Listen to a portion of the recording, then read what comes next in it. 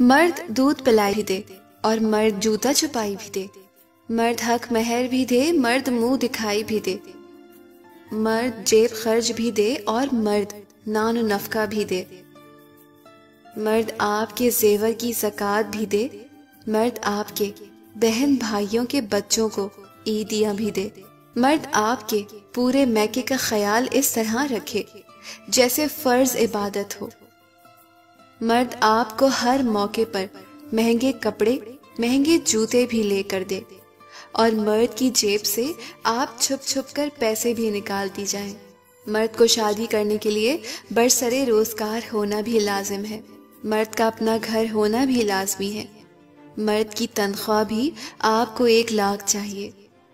इन सब के बावजूद भी जब आप सड़ा सा मुँह बनाकर कह दें कि सास ससुर की खिदमत करना औरत पर फ़र्ज़ नहीं है।